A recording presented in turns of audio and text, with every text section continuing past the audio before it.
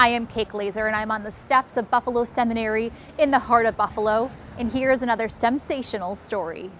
Art teacher Tricia Butski has not been at SEM too long, but she has already discovered the impressive creativity and strong work ethic from her students. They are working hard both inside and outside of class. I have students who come into class all the time just to use the studio outside of their own class time, really interested in making art and really are just driven to make themselves better, stronger artists. She says her typical day includes classes focused on drawing, painting, printmaking, and even mural art, a new artistic platform that is growing in popularity at SEM and the surrounding Buffalo community. SEM is so lucky to be in the heart of Buffalo because we are surrounded by artwork everywhere.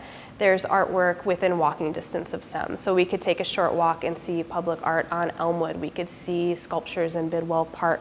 There's just art all around us all the time.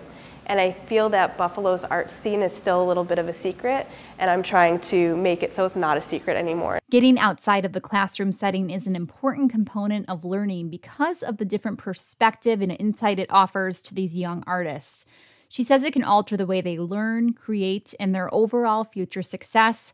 And SEM's curriculum encourages frequent visits to the local museums and galleries for docent led tours and speaking with curators. I always tell them, like, anytime you could get out and see art in person, it's a totally different experience than looking at it on the TV screen or looking at it online or in a book. If you look at a painting in real life, you could see the artist's brushstrokes. When you look at art in a book, you can't see that. And it motivates them to do better in their own artwork too. What makes SEM sensational?